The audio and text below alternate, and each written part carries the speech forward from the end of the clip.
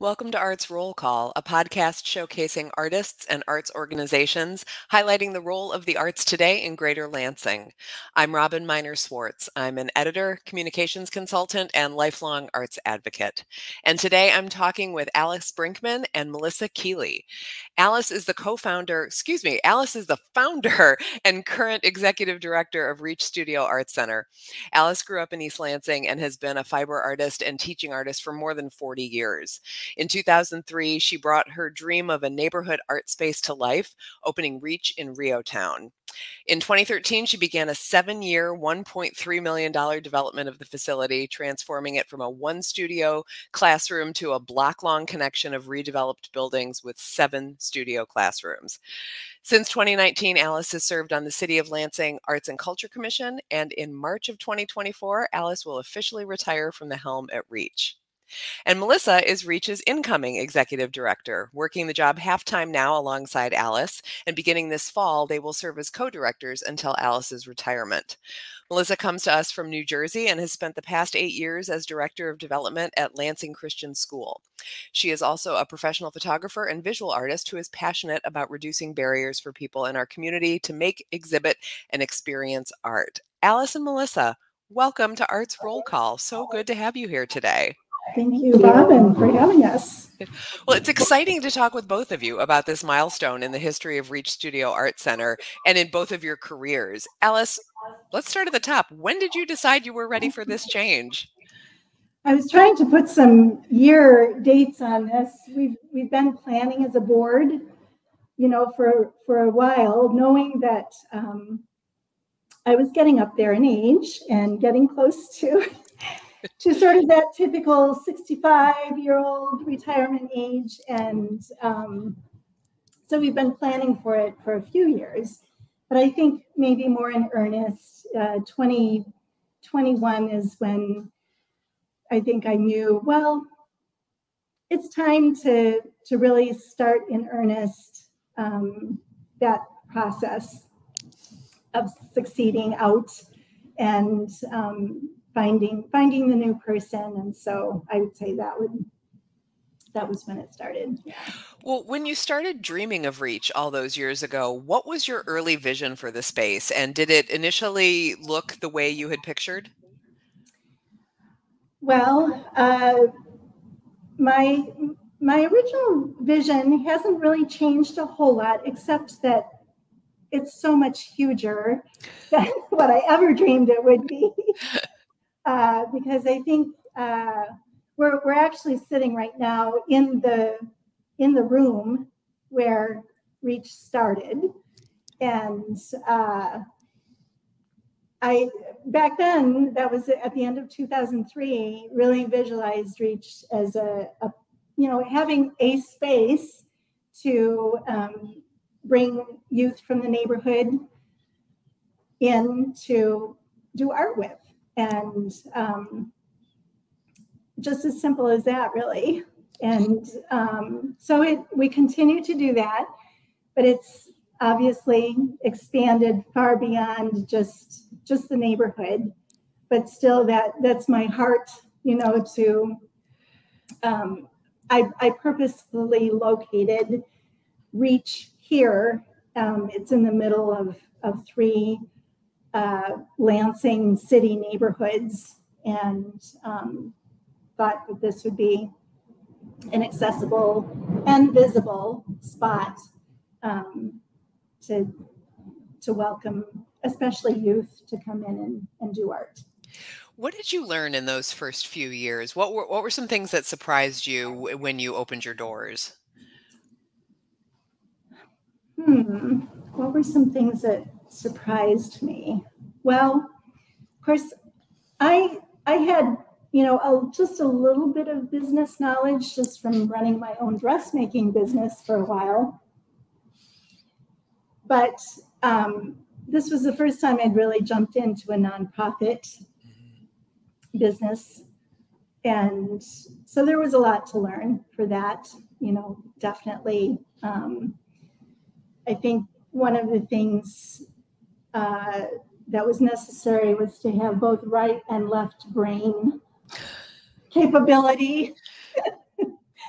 and thankfully, I, I think that I do have both of those. and so that uh, I think that made it easier for me to um,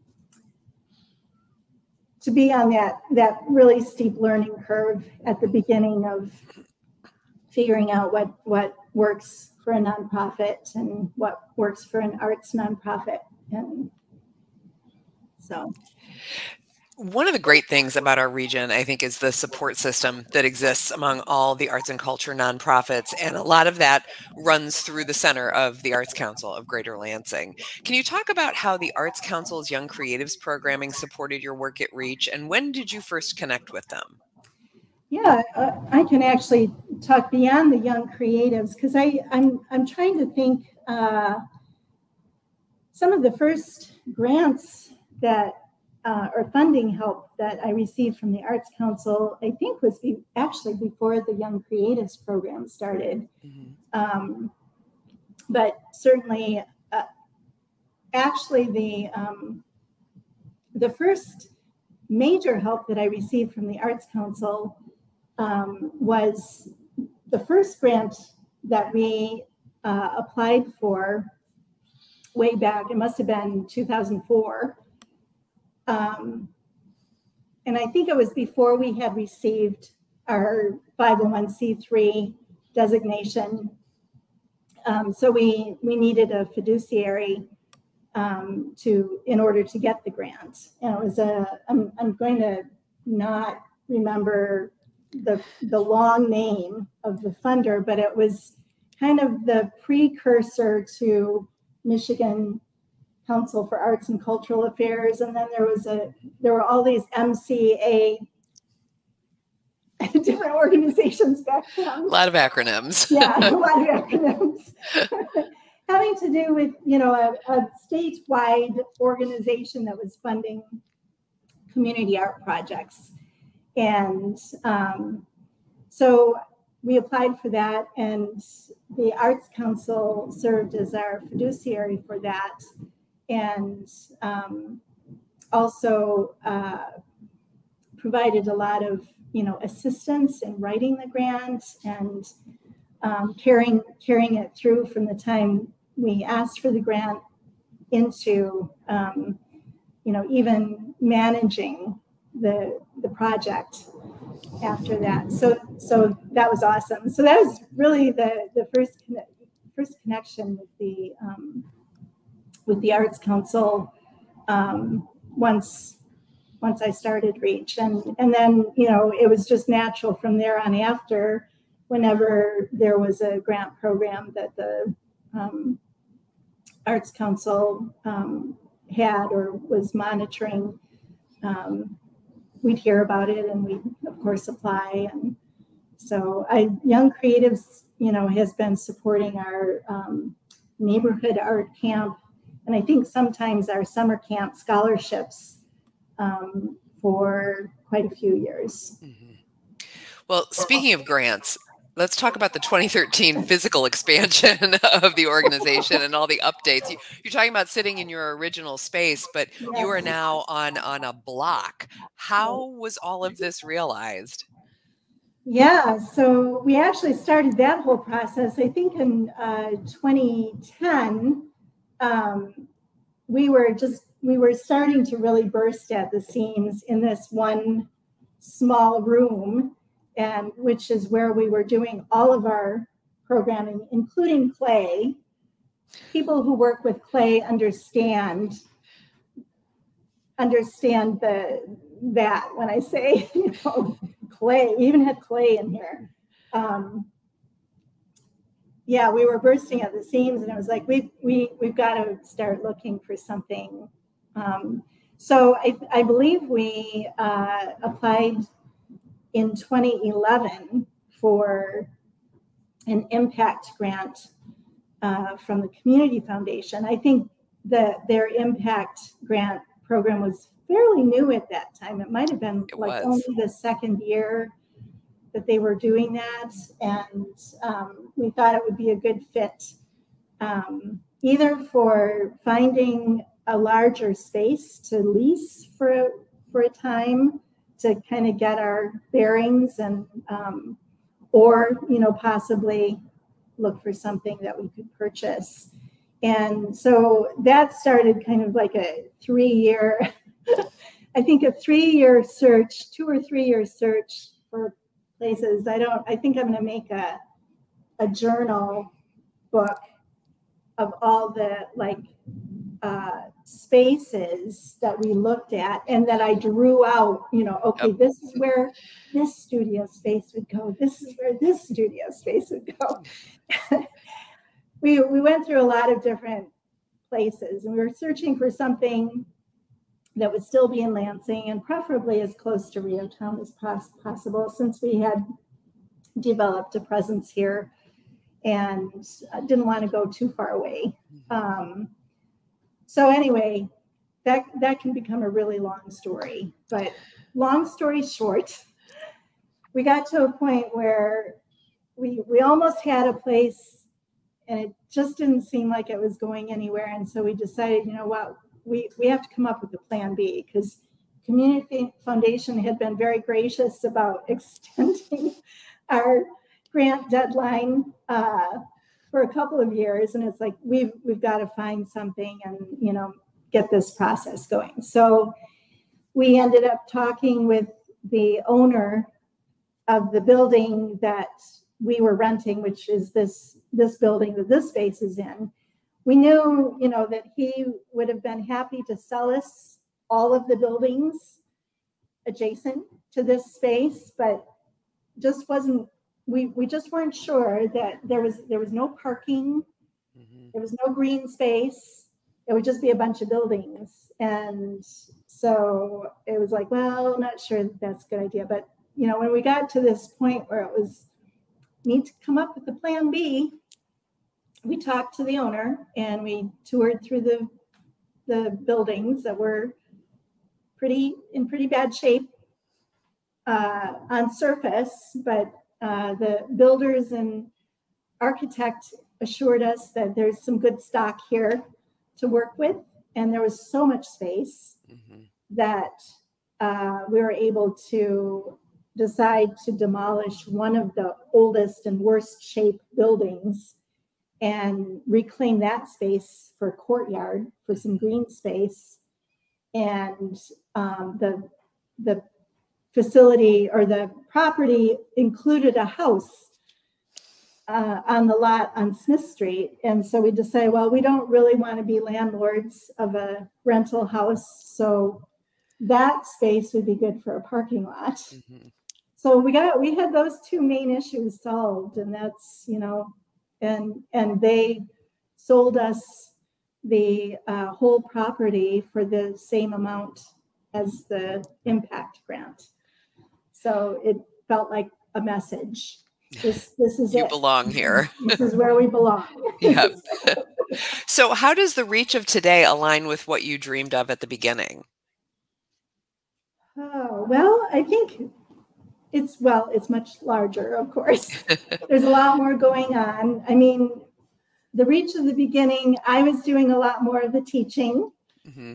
You know, it's just me and maybe an AmeriCorps Vista for a while, two of us, and then an occasional teaching artist or clay person that would help out. Um, and now, you know, we we need staff to help manage and recruit teaching artists for all of the different programs we're doing and um, you know and the and the spread is further so we're you know we have people coming in from all over the greater lansing area um, for camps and classes. And um, so, yeah. Well, as you look toward March, what's next for you?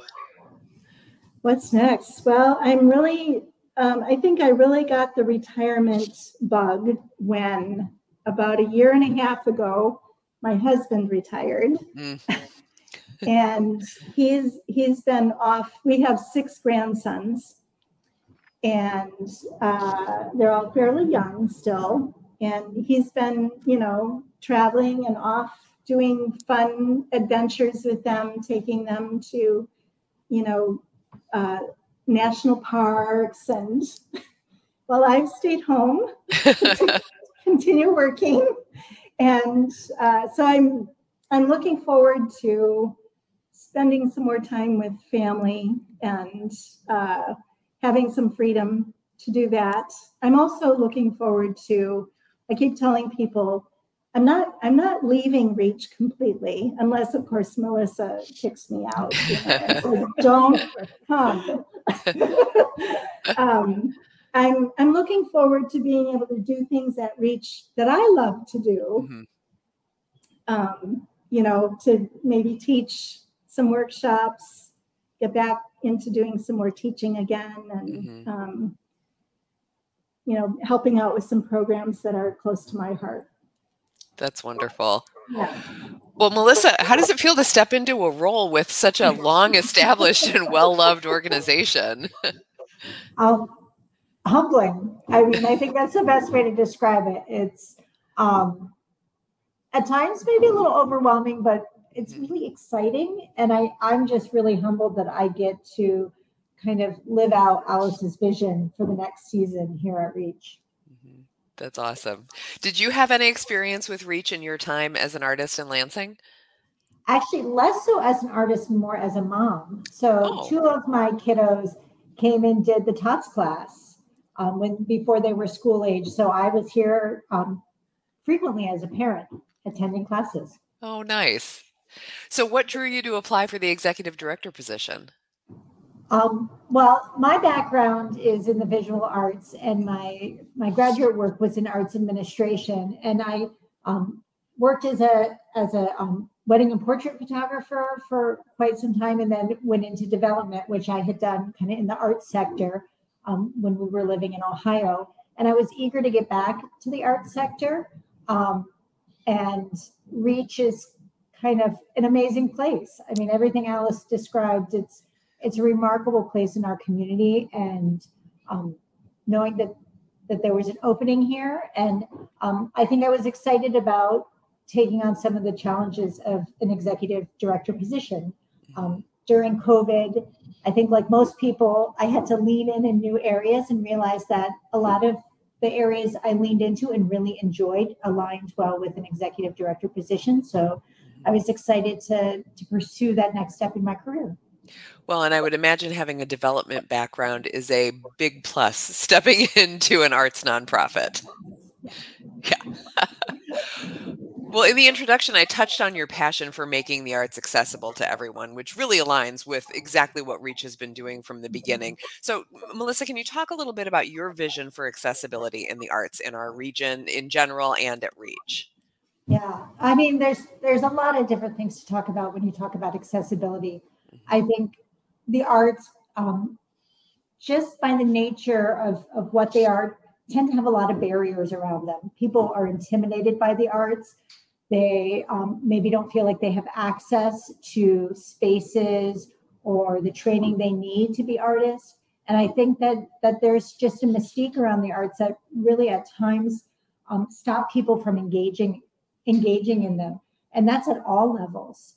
Um, but I think what makes Reach really unique is that it's able to touch on a lot of different areas to kind of reduce those barriers and to make accessibility kind of broader. And and that really is in the full spectrum of, of when we talk about accessibility, about working with kids who um, maybe are at risk, who um, may not financially be able to afford um, programming that is above and beyond what's happening in the schools. Um, it's you know young artists who are looking for opportunities to um, exhibit or to learn how to be practicing artists and it's um, working with individuals who have different ability levels who um, like the accessibility arts program um, that we did in collaboration with the lansing art gallery thinking about how to make programming accessible for all different ability levels and then you know giving access to like mash the my art studio space for practicing artists who are looking for community. So it's really about reducing barriers at all levels of an artist's kind of training and career. And and that kind of aligns with my passion area, which is, you know, to be a lifelong artist means meeting artists at different places throughout their lives. And that's um, a really remarkable thing about Reach. That's that's so great. Well, you're you're both going through a whole lot of change and growth right now, and you're working through a lot of it together, kind of side by side. I'm curious what the process has been like for each of you, and I'll whoever would like that, both of you. Well, I think uh, one of the, I think one of the the biggest challenges uh, for us has been uh, we we're, we're we've got two fairly important staff positions that we we still need to fill, and we um, so our operations manager um, moved on to to grad school um, a couple weeks ago, and um, and then we've been you know I put off looking for a program director um, because at the point where I was getting close to um, thinking about finding, you know, the next executive director. It's like I don't want to get be the one finding by myself all these new people and then hand it hand over to Melissa or the new executive director. You know, mm-hmm. okay, here here's your team. Yeah. So um, so it was important to to start. Um, you know, the board and I felt it was important to start by finding, you know, the, the next executive director first and get Melissa. Um, kind of started onboarding, you know, and then work together on finding um, the rest of the team. And so that that's I think made onboarding Melissa challenging. I think we would both agree with that because you know we're we're trying to find other people at the same time as Melissa, as me passing, you know, all this, you know, years and years and years of information on to Melissa. Mm-hmm. And so she can feel um, ready and comfortable to uh, taking over. So, so yeah, I, would say that's been the greatest challenge mm-hmm. is trying to, you know, divide our attention between onboarding, you know, directly onboarding Melissa and, and also trying to recruit new staff members as well. Mm-hmm. At times it's like drinking from a fire hose for sure, because yes. there's so much history and, and so many aspects to what Reach does, but also, you know, it's also, as you've noted, a significant facility. So there's both sides of that. And I think the one silver lining of doing the hiring is is not only being able to um, find a team that's going to work really well together, but it's it's provided an opportunity for me to get to know some of the positions really well, um, kind of as we're navigating what what isn't my role, what is going to be the role of somebody else, and how are we looking to hire for those positions. So I'm learning a lot very quickly, which is which is great. Well, it sounds like this whole process is incredibly intentional. So that has to be really, really helpful.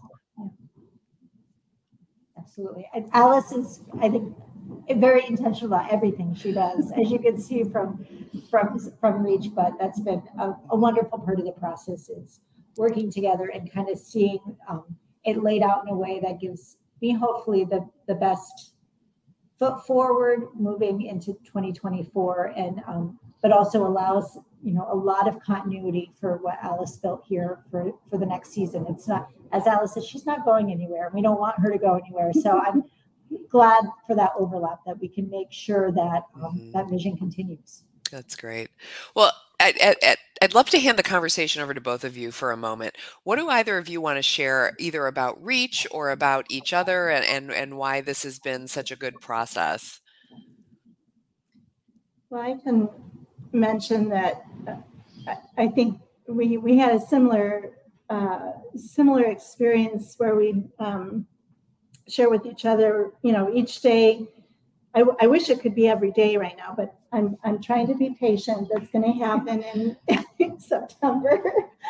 but uh, I I find that you know after I've spent a day with Melissa such as today. You know, I go home and tell my husband that you know, oh, I just I feel really good. I feel so good about Melissa. You know, the she has the right questions. She's got the right eye for things. You know, we're we're right now kind of working on the the bookkeeping piece, you know, and it's like that's that's kind of a scary the non-creative uh, side. yeah.